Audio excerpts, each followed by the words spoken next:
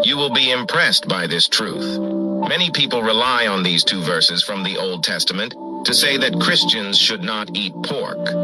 In Leviticus 11:7 we read, "A pig, although its hoof is cloven and divided into two hoofs, does not chew the cud, consider it unclean." And in Deuteronomy 14:8 we read, "The pig is also unclean. You may not eat their flesh or touch their carcasses." In the New Testament, Jesus says that nothing we eat makes us spiritually unclean. In Mark 7, 18 and 19, he states, They do not realize that nothing that enters a man can make him unclean because it does not enter his heart, but his stomach, and is then eliminated. Jesus came to take care of what is most important, which is our heart. If you still prefer not to consume pork, don't judge others for your choice. If you've come this far and truly understood the message, comment, My faith is important, because whether you eat pork or not, it is through your faith that your salvation will come. And don't forget to send this video to someone who needs to hear it. God bless you. Is All right, Shalom. I want to start off by giving all praises, honor, and glory unto Yahweh, Bahasham Yahushai, Bahasham Rakakodash. Double honors unto the apostles and the elders of the great millstone who rule well. Peace and salutations unto the hopeful elect, beginning with the 144,000. This is Brother Yerushalayim coming at you with a quick video through the spirit and power of Yahweh Bahasham Yahushai Bahasham Rakakodash. The name of this one is It is a sin to eat pork and other unclean animals. They are not food, right? Hashtag they are not food. So it's a sin to eat pork and other unclean animals. They are not food, and that's just the facts, right? You saw this um this video or this Christian nonsense that's going around, all right? Uh, I believe it's on Instagram, you know whatnot. Basically, it's a whole bunch of you could say hogwash. It's really bullshit, all right? You hear people talk about um, unclean food, and there's no such thing as unclean food, right? You know, it's um, it, it's it's it's no, it's no um, there's no um unclean thing that was meant meant to be food. All right. So these unclean animals, you know, they are not food. You know, um, you can go many places in the, in the scriptures and you can prove that. All right. Even um in the book of Genesis, the seventh chapter, you know, it goes into Noah. Noah only brought two of the unclean animals. If he was eating those animals, they would have gone on extinct. So either he would have eaten the male or the female, and they won't have been able, been able to reproduce. So it's all a lot of hogwash. You know, Moses, uh, um, Salaki and Noah was eating the clean animals, but there were seven of them that went up into the ark. All right, and that's just facts. Now we saw in this in this video, you know, they talk they spoke about Leviticus 11, Deuteronomy 14, and those scriptures expressly state, you know, that um, you know, don't don't eat pork. All right, that's just the facts. You know, you know, no need to go through that, but it's important to understand that the Lord doesn't change. All right, Yahweh Bashem Yahushai doesn't change. Now, Christianity, plantation Christianity, would have you believe that the Lord changes, which is a big fat lie. It's the book of Malachi, I use Malachi 3 and verse 6. It says, For I am the Lord Yahweh, I change not. So if the Lord doesn't change, all right, so lucky. Let's bear with my moment here. Just notifications. All right. So if the Lord doesn't change, all right, therefore your sons of Jacob are not consumed, then does his law change? The answer is no. Now that's factual. Also, precept upon precept, let's go to the book of Hebrews, chapter 13 and verse 8. It reads, Yahweh Shai HaMashiach, the same yesterday and today and forever. So the son doesn't change. So if the father doesn't change and the son doesn't change, well, does the law change? The answer is no. The answer is no. All right? The law doesn't change and the facts remain the laws, the same laws that you heard from the beginning. Um, from from the beginning are still intact. All right? The only difference is that we have grace, true, true faith in Yahweh Shai, you know, that we can get ourselves right because we couldn't keep the letter of the law. All right. Um, let's go. Let's see. Yeah, this is First John 2 and 7. Let's go into this. First John 2 and 7. Brethren, I write no new commandment, right? The same 10 commandments and the same 600 and um, 600 odd laws, right, and statutes are still in effect. It says, um, I write no new commandment unto you, but an old commandment which ye had from the beginning. Beginning when? Since back in the book of Genesis in the, uh, and in the Torah. The book of Leviticus, the book of Deuteronomy, right? Leviticus 11, the dietary law, Leviticus 14, dietary law, the same things you heard the jackass talk about. Right? It says um it's the same law, right? From the beginning. The old commandment, the old commandment is the word which we have heard from the beginning. Right? So hmm, it's nothing new, says in the in the NLT. Dear friends, I am not writing a new commandment for you, rather it is an old one you have had from the very beginning. Who had that commandment and laws and statutes? Israel. Israel only. It says this old commandment to love one another is the same message you heard from, and that's part of the laws and the statutes. And the fact is that um, what is sin? All right, Let, us prove it. To prove it's a sin to, uh, to eat unclean animals, right? Right. It says First John three and four. All right. Whatsoever, whosoever committed sin, transgresseth also the law. Right. And let's hear what sin is. For sin is the transgression of the law. Right. In the NLT it says, everyone who sins is breaking God's law. For all sin is contrary to the law of the Heavenly Father. And where's the law of the Heavenly Father contained? In the Torah, the first five books of Moses, where Moses wrote. It's really the first five books of Yahweh Bashem Yahweh Shai, including the, the Levitical law in, in Leviticus 11, Deuteronomy 14. So let's go into this word transgression. All right. It says transgression. All right. Uh, apparently a prolonged form of opposite primary, blah blah blah, to make a thing out of, to render one, basically, to act rightly. No, no, no, no. Just not what transgression means. All right. Let's get the word here. Transgression. Meaning Transgression. To act an act that goes against a law, rule, or code of conduct, an offense. So you are offending the Lord, the, the power of, of the universe. All right, you're committing a crime against Him, a wrongdoing, a felony, a misdeed, a vice, a evil doing, right? Eating pork, not unclean animals, you know, uh, uh, uh, is, is an offense. It's law breaking. It's it's a, it's it's um, a crime against the heavenly Father, right? And guess what? It's gonna be punishable. All right, don't don't don't you know? Best believe it. All right. You know the the, the same the same uh, uh, soul in this video here was basically talking about in the New Testament. Uh, this is the New Testament, right? This is First John, First John three and four. Isn't that in the New Testament too? You should go take a read. All right.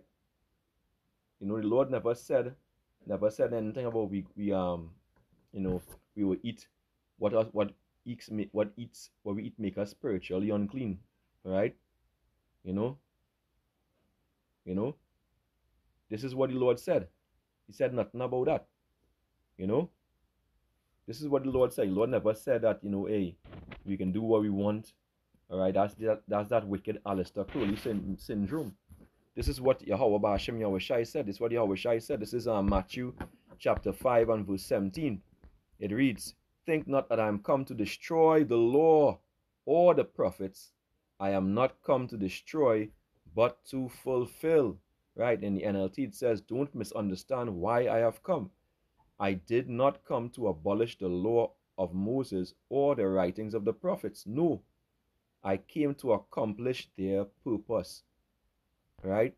Going back in the King James Version, verse 18, it says, For verily I say unto you, till heaven and earth pass, one jot or one tittle shall in no wise pass from the law till all be fulfilled. Now, in the NLT it says, I tell you the truth, until heaven and earth disappear, not even the smallest detail of God's law will disappear until its purpose is achieved, right?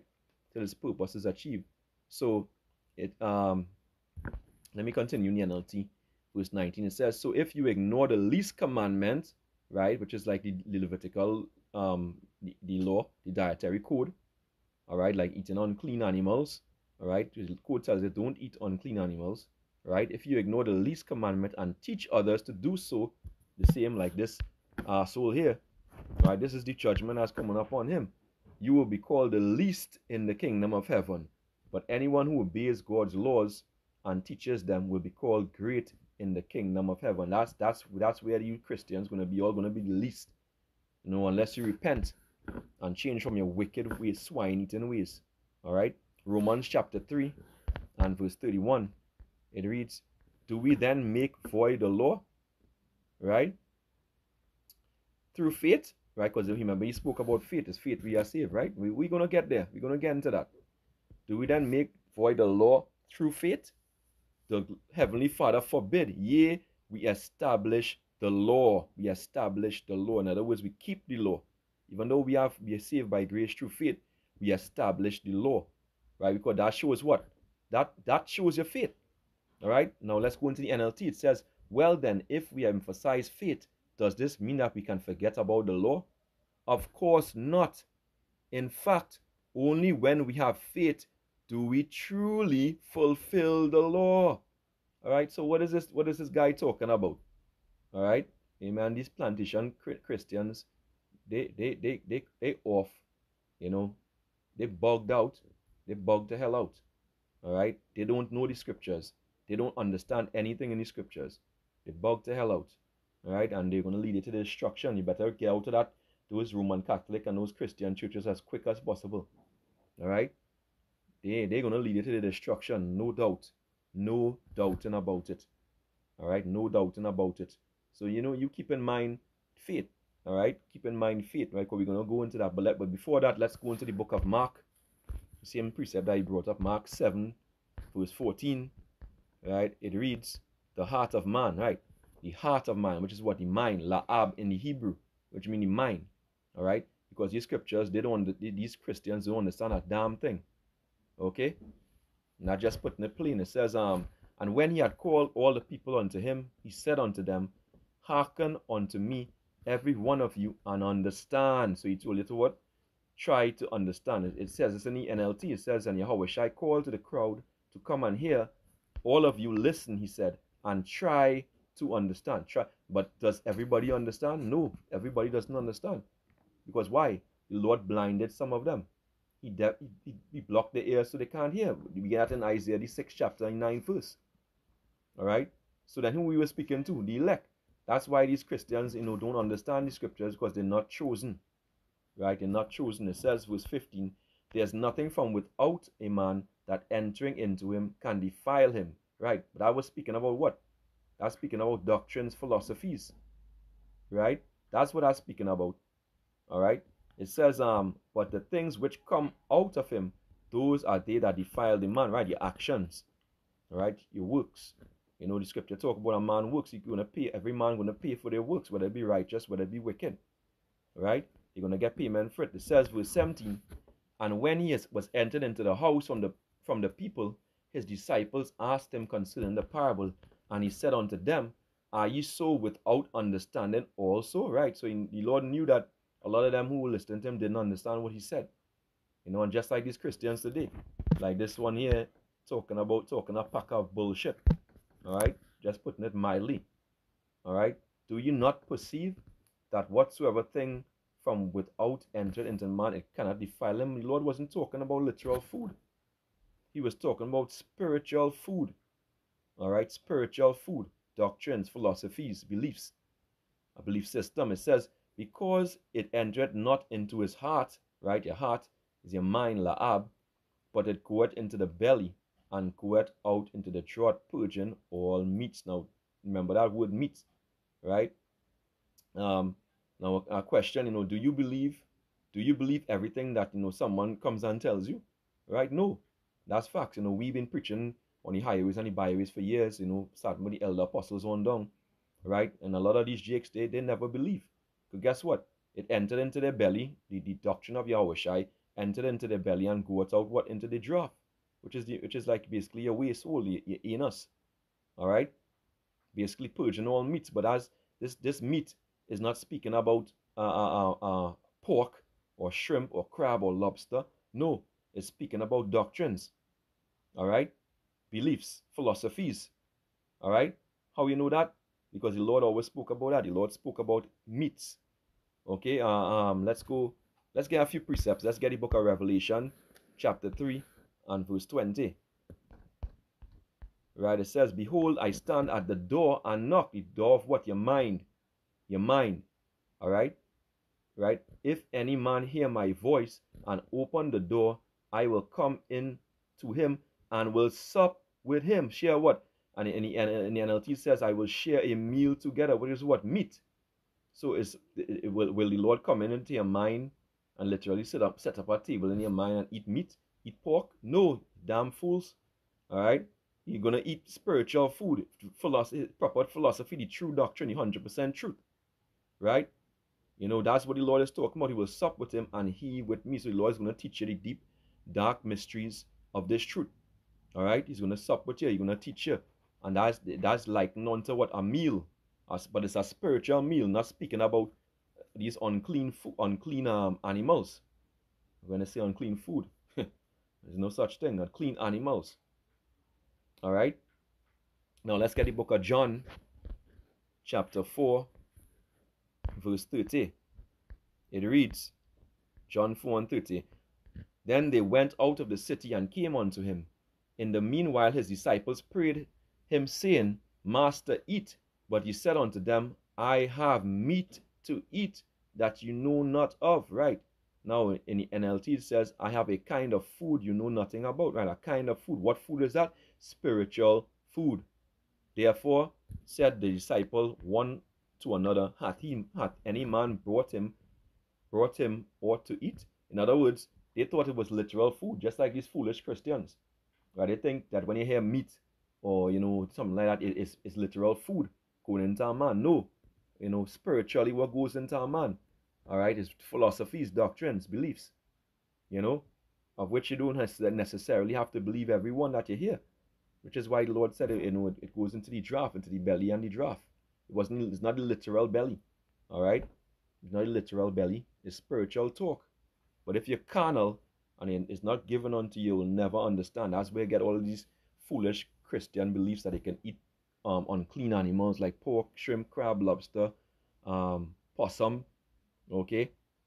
That's where you get these foolishness from. It says, My meat is to do the will now, verse, verse 34 it says, Yahweh said unto them, My meat is to do the will of him that sent me and to finish his work. Right.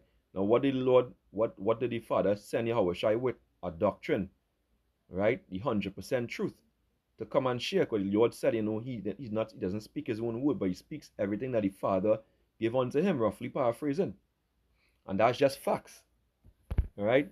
That's just facts. This is Matthew 4 and 4. It says, but he answered and said, It is written, Man shall not live by bread alone, right? But by every word that proceeded out of the mouth of the heavenly Father. And that word is his truth, which he learned from his father. Yahweh I learned from his father. So these people, they have no understanding. You go, you go to the book of Acts, you see the same thing. You know, um, Acts chapter 10. Salakia, let's go here. Acts chapter 10 and verse let's jump down let's jump down when uh, peter got the vision all right right acts 10 and um, verse 9 it says on the morrow as they went on their journey and drew nigh unto the city peter went up upon the housetop to pray about the sixth hour. And he became very hungry and would have eaten. But while they made ready he fell into a trance so this he got a vision. All right? And saw heaven open and a certain vessel descending unto him as it had been a great sheet knit at the four corners, representing what? The four corners of the earth, right? And let down to the earth, right? Wherein all manner of four footed beasts and of the earth and wild beasts and creeping things and fowls of the air, which what man is also a creature. All right, man also is, is represented as a creature in the scriptures. So this is not speaking about literal food, that we're going to see. This is what Christians, um, this is how Christians interpret this scripture, but they're going off. All right, they're going way, way off too.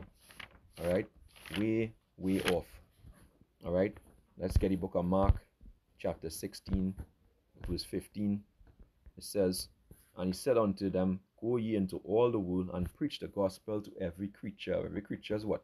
Think you're gonna preach the preach the uh, chicken or cow or moose? No, it's men. Right? It's men. Okay, so man is a creature.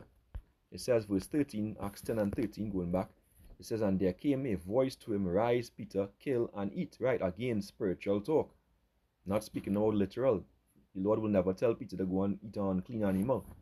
Right? It says, But Peter said, Not so, Lord, for I have never eaten anything that is common or unclean. Right? Because Peter didn't understand the vision at the time when he first got it. Right? As, as a lot of us do when we get dreams, we sometimes don't understand the significance of it right away, or even visions. But eventually, is manifest what the vision really means. So you have to have what a spiritual mind. Right now, verse 15 says, And the voice spake unto him again the second time, What the heavenly Father had cleansed, that call not thou common. So the Lord was not talking about uh, uh, uh, um, unclean meat. Lord never clean, cleansed unclean meat. He cleansed men, men who were Israelite foreigners, who were scattered among the heathen and around the four corners of the earth following the wicked laws, statutes, and the, and the, and the customs of the heathen, uncleanness. Okay? Not keeping the holy days, not keeping the Sabbath, all right? Eating all these, in fact, part of it was eating all these unclean animals, like pork, right? It says, Now, while Peter doubted in himself what this vision which he had seen should mean, behold, the men which were sent from Cornelius, which was what he was a Roman centurion, but he was also what an Israelite, because it tells in the scriptures that you know the Lord he prayed to the Lord and the Lord heard his prayer. Right? The Lord only hears listens to his saints. Alright? The men which were sent from Cornelius had made inquiry for Simon's house and stood before the gate. So in other words, um, Peter had this vision beforehand, the Lord telling him that, hey, you know, you're gonna have Israelite foreigners who are gonna come to hear this word as well. Alright? You know, that that's what that is what the, the meaning was. The Lord is also sending a word unto the scattered Israelites, which we were scattered for a curse according to Deuteronomy 28 and verse 64, and many other scriptures, Hosea 8 and 8 included. Okay? So, you know, hey, hey, hey, this Christianity is dead. It's a big fat lie. Right? Just one of the last point I wanted to address. In fact, let me go back to um, this precept in in uh, Mark. Is it Mark 7? Yeah, Mark 7. I don't think I read the whole thing. Uh, when you go into it, it, it says um, meats. Let me see.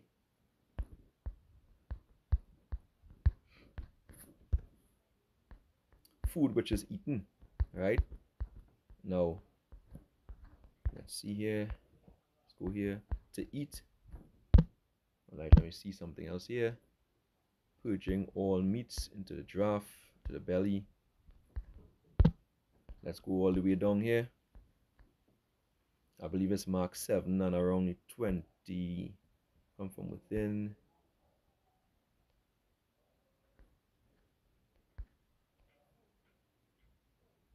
Yeah, so the food, the foods that they're speaking about here is not literal food. You know, the Bible is written in parables and allegories, dark speeches. So you know, it's a it's a whole lot of lies. Uh, these um these Christians, you know, are preaching a lot of a lot of lies. When they go down here, it says um Mark seven and um twenty, and he said, and he said that which cometh out of a man that that of, a, of the man that defileth the man, right? Because you, your ways, your works. When you go back to the commandments, all of the commandments basically have actions right? You know, your heart is, the scripture say, heart is deceitful above all things and desperately wicked. So how you think? That's what defile you. Because, you know, your actions, your, your works, based on those thoughts, you know, gonna, is what to defile you. For, for from within, out of the heart of man proceed evil thoughts, adulteries, fornications, murders, thefts, covetousness, wickedness, deceit, lasciviousness, an evil eye, blasphemy, pride, foolishness. All these all these evil things come from the from from the man from within and defile the man. Come from within and defile from a man's mind. And um, why would they talk about food? The lord wasn't talking about food right you know it's, it's, it's about the, it's about thoughts your beliefs all right that's what the lord was talking about now let me get get a couple of precepts and close this out because he's talking about you know through faith your salvation will come, right? You know, but what it, what he didn't say is that faith without works is what dead, right? Faith without works is dead. So if you have faith and you're doing what you want, you know, as we read about in um in Romans 3 and 31. In fact, let me go back there first. Romans 3, 31. What does it say? It says, Do we then make void the law through faith? Yahweh forbid, yea, we establish the law. Now in the NLT it says, um, well then, if we emphasize faith, does this mean that we can forget about the law? Of course not. And this is the Apostle Paul speaking, whom Christians love to quote. Right? But he was what? He was fed, the Apostle Paul was fed, you know, he's fed meat, if you will, from by from Yahweh Shai. Right? It says, of course not. In fact, only when we have faith do we truly fulfill the law. Why? Because we're going to do the works of the law if we have the faith. That's the facts. So this is the part that he omitted. This is James chapter 2 and verse 14. It reads, What doth it profit, my brethren, though a man say he had faith and have not works? Can faith save him? And that's the point. He said salvation came through faith. You're wrong. You're wrong. Salvation comes through faith and works. It says, if a man or sister be naked and destitute of daily food, right? In fact, uh, um, let me just jump down. Right. Destitute of daily food, and one of you say to them, say unto them, Depart in peace, be ye warmed and filled, notwithstanding, you give them not those things which are needful to the body. What doth it profit? Right. Even so, faith, if it hath not works, is dead being alone. Yea, a man might say, may say, Thou hast faith, and I have works. Show me thy faith without thy works, right? And I will show thee my faith by my works. And that's how you show your faith by your works, by by us going out on the highways and byways and preaching this word and risking our lives. You know, that's that's showing what faith. So you can't show faith without works. And the Heavenly Father is looking. The scripture says faith is what pleases him. Right? But without faith now you have to act on it. All right? You have to do the things which are righteous in the Lord's sight, not including abstaining from eating unclean animals. That's one example. Now let's get the Apocrypha, uh, Second Esdras, chapter 9, chapter 9 and verse 7. It reads, And every one that shall be saved, let's get this here, and every one that shall be saved and shall be able to escape by his works and by faith whereby ye have believed, right? You know, but how you believe, you have to act. Is an action that's necessary. That's how we're going to be saved by his works and by faith. So not by eating wicked ass pork. Alright? You know? And um as as we go back to the topic of the video, is it a sin to eat pork and unclean animals? The answer is yes, it is unclean. Right? And he says that you don't judge somebody if you don't eat it. Well, well, I have a I have a, a word for you. Right? The word judges, right? The word um judges all right the word gonna judge you all right it says um it's john john 12 48 let's see if we can get that in the letter it's john 12 and 48 it says he that rejected me and receiveth not my words including the laws and the statutes including the, dietary code right hath one that judgeth him the word that i have spoken the same shall judge him in the last day. The same shall judge him in the last day. Right? And all those who eat pork, not unclean animals, you're going to be destroyed. Right? You're going to be judged. You're going to be destroyed. Isaiah 66 and verse 15. All right, it reads, For behold, the Lord will come with fire and with his chariots like a whirlwind to render his anger with fury and his rebuke with flames of fire.